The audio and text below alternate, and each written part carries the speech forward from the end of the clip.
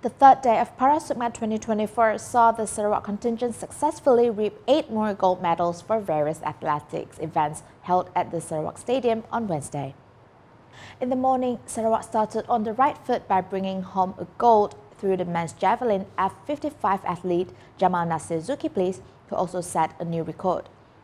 His throw of 21.09 meters surpassed the old record held by Malacca athlete Muhammad Shari Muhammad Jafar with a distance of 20.97 meters. The Sarawak contingent became more competitive in the afternoon as they managed to win seven more gold medals. The athletes who contributed to the wins were Nur Fahani Kudus for the women's 200 meters T46 T47 with a time of 30.94 seconds, Siti Zubaida Puini for the women's discus throw F12 F13 with a distance of 19 meters, and Catalina Sunti David Diok for the women's discus throw F11 with a throw as far as 15.77 meters.